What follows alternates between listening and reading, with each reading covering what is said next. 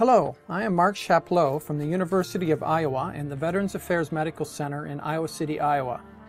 I want to share with you the exciting results presented at our symposium titled Contributions of Skeletal Muscle Myopathy to Heart Failure Novel Mechanisms and Therapies. The symposium was held at the IUPS Congress in Birmingham, UK in July 2013.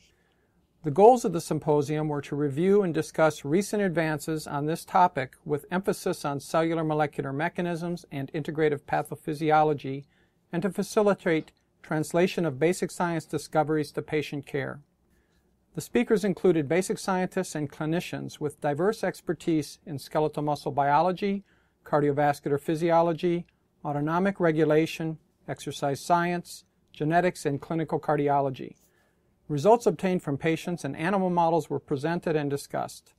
I am pleased to announce that symposium reports based on each of the five presentations are now published in the April issue of Experimental Physiology. Let's begin with some background. Heart failure often results from intrinsic cardiac dysfunction, which may be acquired, for example after myocardial infarction, and or be genetically based. The fundamental mechanisms and gene mutations that affect cardiac function often also influence vascular smooth muscle and skeletal muscle as well. Hypercontractile vascular muscle can lead to ischemia, not only in peripheral tissues, but also in the heart, where coronary vasoconstriction can cause or worsen ischemia and lead to cardiomyopathy. While cardiac dysfunction is, of course, at the heart of the problem in patients with heart failure, it is widely appreciated that abnormalities in other organ systems contribute to development and progression of this fatal disease. One such system is skeletal muscle. Chronic decreases in skeletal muscle blood flow, i.e. ischemia, that can occur after cardiac insults, and or intrinsic abnormalities in skeletal muscle, as occur in inherited muscular dystrophies, may lead to skeletal muscle myopathy, the central focus of our symposium. The five symposium reports address a variety of abnormalities in skeletal muscle that contribute to myopathy in several unique animal models and in patients with heart failure. These abnormalities include activation of the skeletal muscle renin-angiotensin system, or RAS, oxidative stress, fibrosis, inflammation, increased proteolysis, and loss of muscle mass. Oxidative stress and disruption of membrane-targeted nitric oxide synthase in skeletal muscle impair sympatholysis, which results in exaggerated sympathetic-mediated vasoconstriction and in contracting muscle during exercise. The resulting ischemia and other myopathic pathologies contribute to skeletal muscle weakness, fatigue, and exercise intolerance in heart failure. It is important to appreciate the importance of weakening of respiratory muscles, such as the diaphragm in heart failure. Respiratory muscle weakness and fatigue increase the work of breathing and may decrease ventilation, resulting in hypoxemia, acidosis, and increases in pulmonary artery pressure, the latter being a major determinant of right ventricular afterload.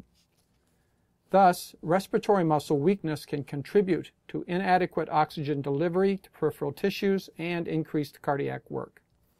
Clearly, genetics and environment each contribute to both skeletal muscle and cardiac muscle myopathies and dysfunction.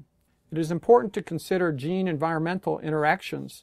Phenotypes can vary greatly, even in diseases arising from a single gene mutation. The variations may reflect genetic modifiers as well as environmental influences.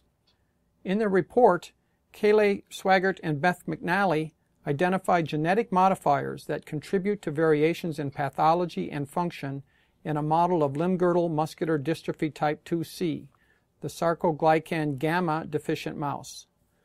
These mice develop cardiac as well as skeletal muscle myopathy and dysfunction.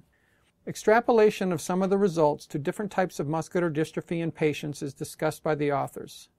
Examples of modifying genes that differentially affect limb skeletal muscles versus respiratory muscles versus heart are also highlighted. Physical activity level is an important environmental factor. While physical exercise can impose considerable cardiovascular risk in patients in heart failure, aerobic exercise training can provide impressive results. Numerous positive effects of exercise have been demonstrated, including those affecting cardiac, vascular, skeletal muscle, and autonomic nervous system functions.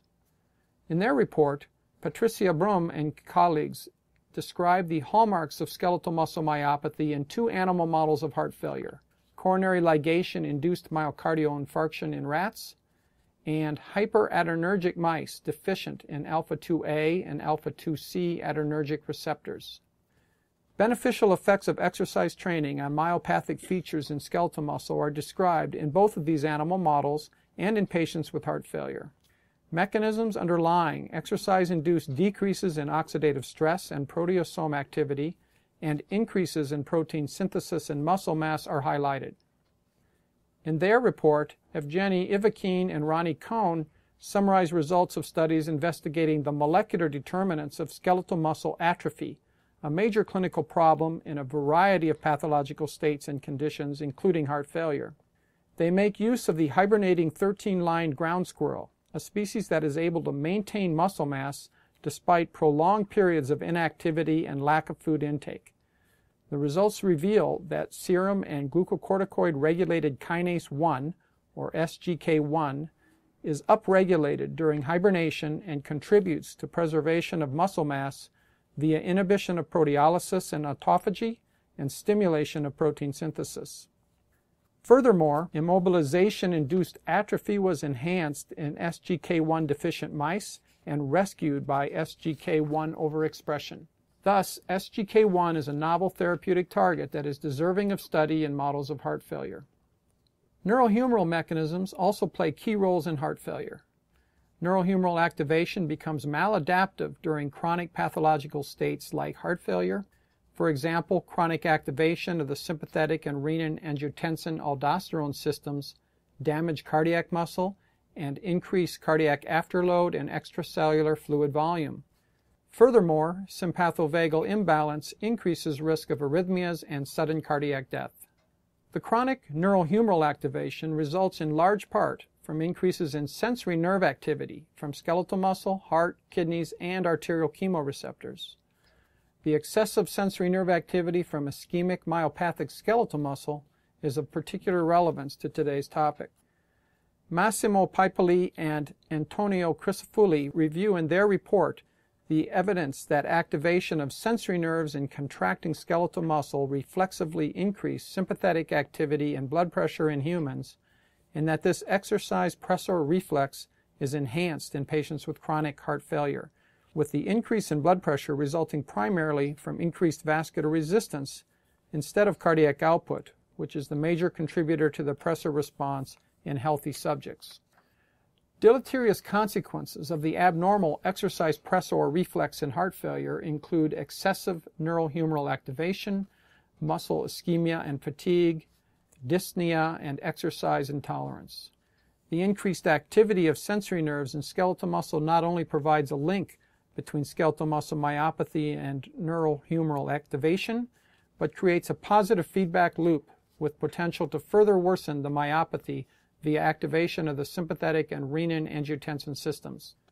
Rasna Sabharwal and I report in our review that sarcoglycan delta deficient mice, a model of limb-girdle muscular dystrophy type 2F, exhibit severe autonomic dysregulation, including increased cardiac and sympathetic vaso sympathetic tone and associated with skeletal muscle myopathy and decreased locomotor activity at a young age, well before development of cardiomyopathy. The abnormalities are accompanied by activation of the renin-angiotensin system and are abrogated by chronic treatment of sarcoglycan deficient mice with either the angiotensin AT1 receptor blocker losartan or the protective angiotensin peptide ANG 1 to 7.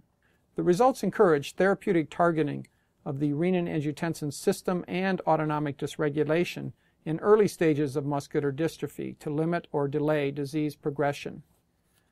To sum up, there is no doubt that skeletal muscle myopathy contributes to pathogenesis, symptoms, and clinical outcomes in heart failure. I believe the results presented in these symposium reports are sure to stimulate further investigation of mechanisms underlying the myopathy and development of new strategies to therapeutically target skeletal muscle myopathy and its consequences in patients with heart failure.